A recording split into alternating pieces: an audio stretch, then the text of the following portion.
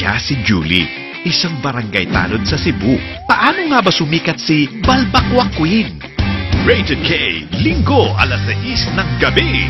65 years is the service of the Filipino.